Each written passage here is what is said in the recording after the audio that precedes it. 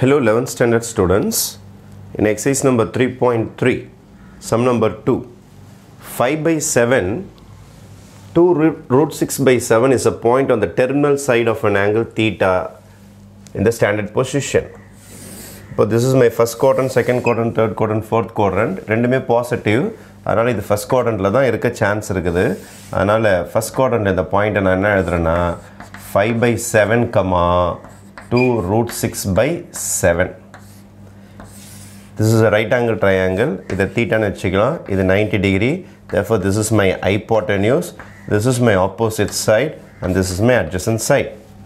Five by Sevana X coordinate அப்போ எக்ஸோட distance இது. அப்போ இதுதான் உங்களுக்கு adjacent சைடு தான் ஃபைவ் பை செவன் இதுதான் ஆப்போசிட் சைடு ஆப்போசிட் சைடு தான் Y coordinate Y axis parallel to Y axis அதனால் இது two root six by seven அப்போ இதுதான் ஐபாட்டன்யூஸ் நியூஸ் என்ன?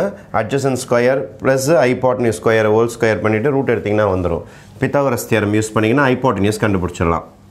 அப்போ hypotenuse is equal to square root of adjacent square plus opposite square. This is my formula.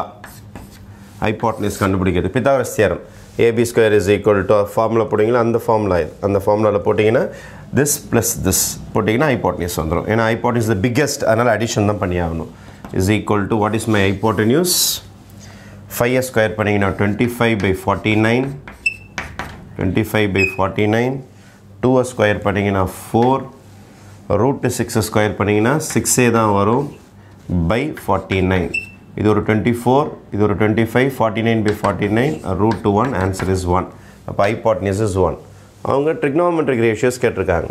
First sine theta ஆரம்பிப்போம். What is sine theta opposite by hypotenuse what is my opposite two root six by seven hypotenuse one by one போட்டாலும் ஒன்று தான் போடனாலும் ஒன்று தான் அப்படியே stop பண்ணிக்கலாம். ஓகேவா by one போட்டாலும் அதே தான் ஆன்சர் சைன் தீட்டா முடிஞ்சிருச்சு. Cos theta adjacent side by hypotenuse my adjacent is five by seven hypotenuse ஒன்று தான் அதனால் பை ஒன் போட்டாலும் ஒன்று தான் போடனாலும் ஒன்று தான். அதுக்கடுத்து tan theta opposite by adjacent opposite is two root six by seven by by adjacent is 5 by 7 7 7 cancel ஆகிடும் therefore your answer will be 2 root 6 by 5 அப்படி இதுக்கு அப்படியே ரெசிப்ரோக்கல் தான் உங்களுக்கு மீதி ஆன்சர்ஸ் எல்லாமே. கொசிகன் தீட்டா ஃபார்முலாலாம் எதுவுமே எழுத வேண்டாம். அப்படியே திருப்பி போட்டால் போதும். Seven by two root six அதுக்கடுத்தது சீக்கன் தீட்டா இது அப்படியே ரெசிப்ரோக்கல் தான். அப்படியே திருப்பி போட்டால் போதும்.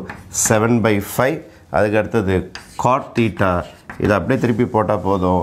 Five by two root six is your final answer இது ஒரு மூணு ஆன்சர்ஸ் இது ஒரு மூணு ஆன்சர்ஸ் ஓகே தேங்க்யூ